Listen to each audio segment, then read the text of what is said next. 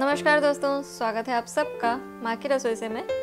दोस्तों, आज हम चावल के खीर की रेसिपी आपके साथ शेयर करेंगे, जो कि हम सबके घरों में, भारतीय घर में बहुत ही कॉमन एक स्वीट डिश है।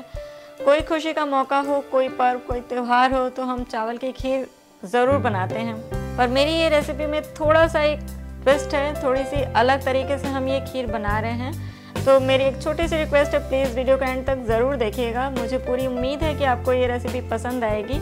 तो वीडियो को एंड तक देखिएगा और ट्राई ज़रूर करिएगा। तो चलिए बनाना शुरू करते हैं चावल की खीर। खीर बनाने के लिए हम एक कढ़ाई रख लिए हैं गैस पर। कढ़ाई गर्म हो गई है और इसमें हम डाल दे रहे हैं। एक चम्मच घी पहले से डाल दिए थे। एक चम्मच और डाल दिए। और इसमें हम ये पाँच इलायची लिए हैं छोटी वाली। हरी इलायची, इसका तड़का लगाएँगे।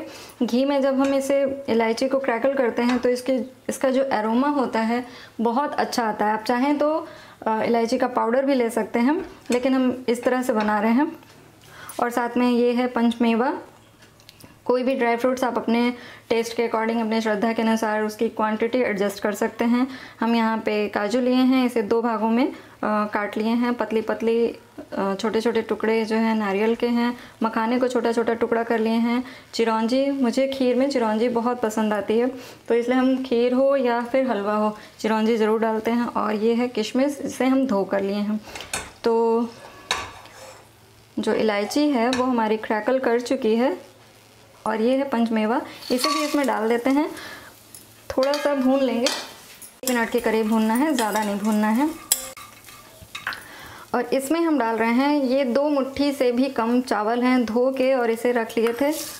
तो हम एक लीटर दूध की खीर बना रहे हैं। तो ये दो मुट्ठी हम चावल ले लिए हैं। चावल ज़्यादा पुराना ना हो।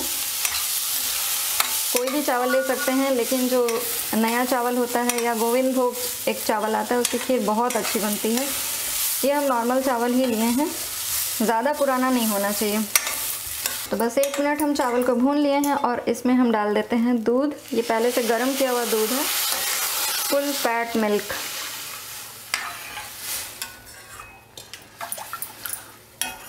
और इसे अब हमें चलाना नहीं है, बिल्कुल धीमी आँच पर।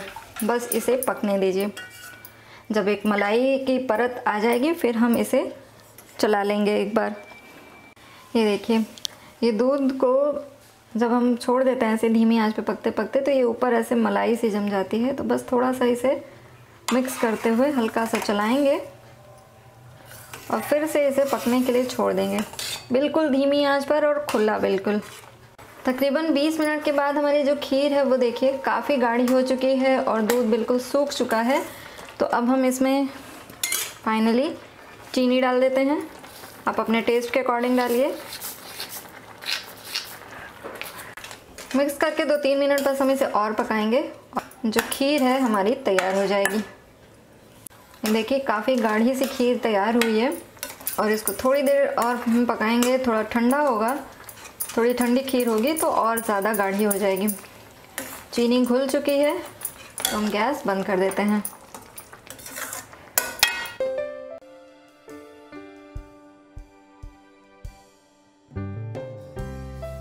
केसर भी डाल देते हैं। तो दोस्तों, खीर बनकर बिल्कुल तैयार है। मेरी इस रेसिपी को आप ट्राई करके खीर बनाइएगा। अब की बार जब बनाएँ तो बिल्कुल बहुत ही अच्छी, बिल्कुल मलाई की तरह, रबड़ी की तरह खीर का स्वाद आता है, बहुत टेस्टी बनकर तैयार होती है। तो आप इस रेसिपी को ट्राई करिए, बहुत सिंपल सी रेसिपी है, हर घर में खीर बनती है।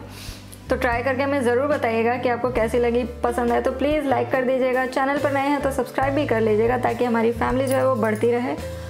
तो मिलते हैं आपसे नेक्स्ट वीडियो में एक नई रेसिपी के साथ, तब तक ले टेक केयर बाय बाय